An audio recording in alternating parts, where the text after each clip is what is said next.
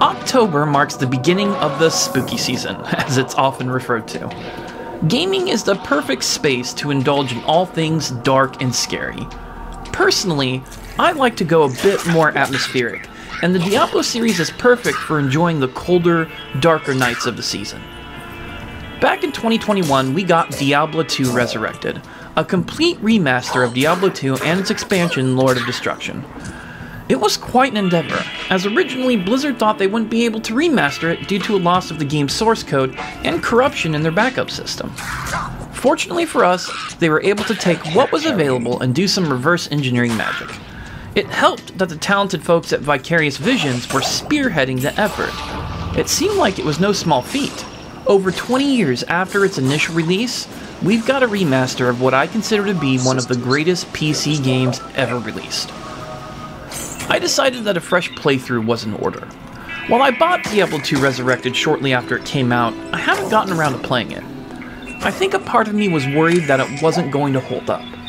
I have such fond memories of playing the original, and it was hard to believe that a remaster of a game over 20 years old, even one that I obsessed over, would live up to those nostalgic memories. Well, it does. Better than I had hoped. Playing the game is timeless, a simple loop of killing monsters, collecting loot, and leveling up.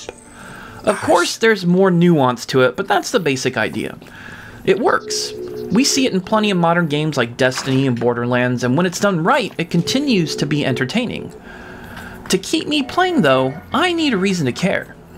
The entire Diablo series takes place in the world of Sanctuary. It's an Earth like mortal realm, tucked between the heavens and the burning hells. The heavens tend to think they shouldn't intervene in mortal affairs. Well, most of them do. Tyrael is an exception. Hell, on the other hand, well, they want that shit for themselves. They are constantly trying to invade and take over Sanctuary. They crave power and destruction. In Diablo 2, we are trying to prevent the three prime evils from uniting Diablo, Mephisto, and Baal. There is so much lore in the Diablo series, and I absolutely love it. I've spent many an hour watching lore videos and reading about the history of Sanctuary and even reading the books. This is good old classic evil. Demons, zombies, skeletons, they're all here. It is the perfect game to get in the mood for fall. Well, if you're into the whole gothic evil is a mood that I like. Luckily I am. I've just started Act 3 and my paladin is starting to look formidable. I will say that so far the magic hasn't dimmed. Diablo 2 Resurrected is about as faithful as a remaster can get. It has the same pull it did 20 years ago. It looks great, plays great, and the soundtrack is still one of my favorites of all time. If you combine the totals of the original release and Resurrected, you get around 10 to 15 million copies sold, could be more. But those are soft numbers. Exact totals are kind of hard to come by. That, by all measures, is a big success. Yet there are hundreds of millions of consoles and gaming PCs out there. There are far more gamers out there who haven't even touched a Diablo game. I feel like there are quite a few gamers out there that would really enjoy the Diablo series if they gave it a chance. If you're looking for something to get into the mood for the colder, spookier months of the year, Diablo 2 Resurrected is a great way to do it.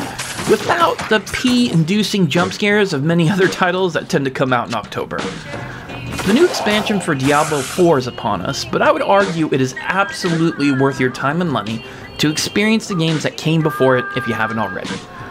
There are a few games that have stood the test of time as well as Diablo 2.